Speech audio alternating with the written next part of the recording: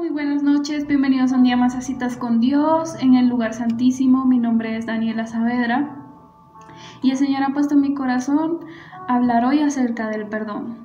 En este tiempo que hemos estado en distanciamiento social, en casa, algunos trabajando, estudiando y otros no, de igual forma hemos tenido el espacio de pensar, pensar mucho acerca de cómo antes podíamos salir con tranquilidad a, ver a nuestros familiares, amigos, compañeros. Hemos pensado aún más allá, si nos vamos atrás, en el transcurso de nuestras vidas y en el futuro, en qué o quiénes seremos después de esto.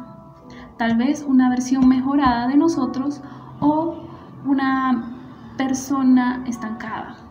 Indiscutiblemente el estancamiento, los problemas, las disensiones, las amarguras en nuestras vidas se deben a la falta de perdón.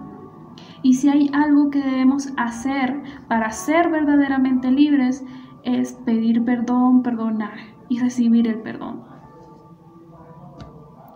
Sé que este tema no es muy fácil para algunos, entonces hoy quiero recordarles el más grande ejemplo de amor y perdón que tenemos y es Jesús. Vamos a leer Lucas 24, 46 al 47 y dice, esto es lo que está escrito, les explicó, que el Cristo padecerá y resucitará al tercer día y en su nombre se predicarán el arrepentimiento y el perdón de pecados a todas las naciones comenzando por Jerusalén. Entonces Cristo, siendo 100% hombre, 100% Dios, sufrió por nuestros pecados y siendo carne y hueso como nosotros, Él sintió, sintió un, profundo dolor, pero de igual forma Él hizo, fue al madero por nosotros y llevó al madero todos nuestros pecados. No lo pensó tres veces como nosotros pensamos para pedir perdón. Ahora si leemos Salmo 103, 10 al 12 dice, no nos trata conforme a nuestros pecados ni nos paga según nuestras maldades. Tan grande es su amor por los que le temen como alto es el cielo sobre la tierra. Tan lejos de nosotros echó nuestras transgresiones como lejos del oriente está el occidente. Entonces también tomemos en cuenta la definición del perdón. Es disculpar a la persona que nos hizo daño, nos falló, sin intención de vengarnos. Es optar no tomar en cuenta el daño en el futuro. Y así es el Señor con nosotros. Él no nos recuerda diariamente nuestros pecados o lo que hemos hecho, el daño que hemos hecho. Entonces, este proceso del perdón puede ser, puede tomar tiempo para algunas personas y para otros no tanto. Pero algo que es sumamente importante y necesario es que debemos perdonar. Cuando perdonamos, esto afecta eh, positivamente en cuatro áreas de nuestras vidas. En la salud física y mental, en el área social y en el espíritu. Entonces, si, si decidimos perdonar, pedir perdón, vamos a estar tranquilos, vamos a sentir paz en nuestros corazones, vamos a poder ser verdaderamente felices. Pero una persona que no decide perdonar o que no quiere pedir perdón sabiendo que hizo algo mal, va a tener amargura, ira, rabia en su corazón y eso afecta en su mente, afecta en sus pensamientos, van a tener pensamientos malos y eh, en el área de la salud puede causar algo tan simple como un dolor de cabeza, puede causar aún enfermedades más graves que eso, simplemente por la falta de perdón. Entonces, hay que tomar y saber que Perdonar es una decisión, no un sentimiento. Si vamos a la definición de perdón en el griego es dejar pasar. Entonces nosotros debemos tomar la decisión de dejar pasar por alto el daño, las faltas que han hecho o que han de hacer contra nosotros. Si vamos a leer ahora Mateo 6, 14 al 15 y dice, Dice, porque si perdonan a otros sus ofensas, también los perdonará a ustedes su Padre Celestial, pero si no perdonan a otros sus ofensas, tampoco su Padre les perdonará a ustedes las suyas. Entonces, la Biblia es muy clara acá.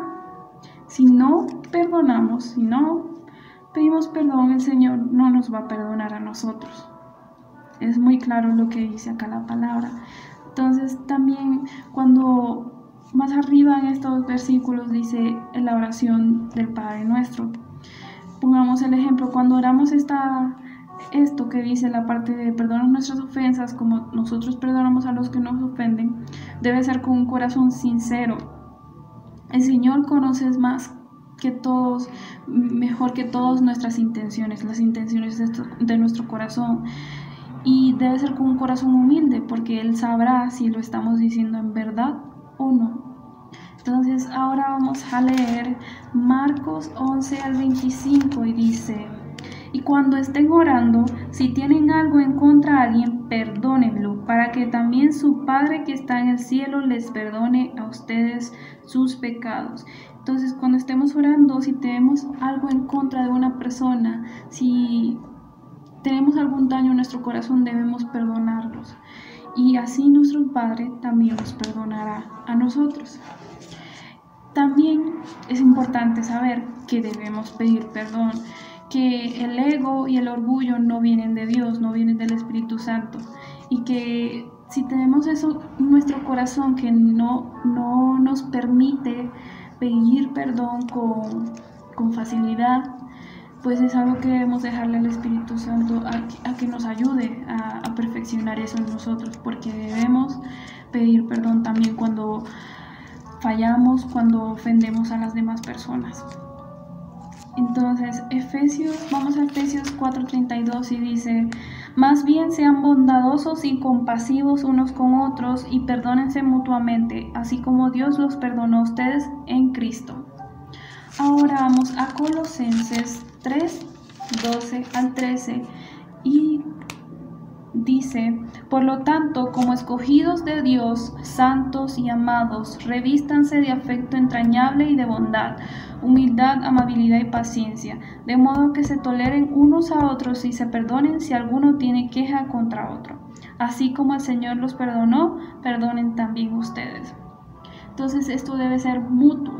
Debemos pedir perdón y perdonar.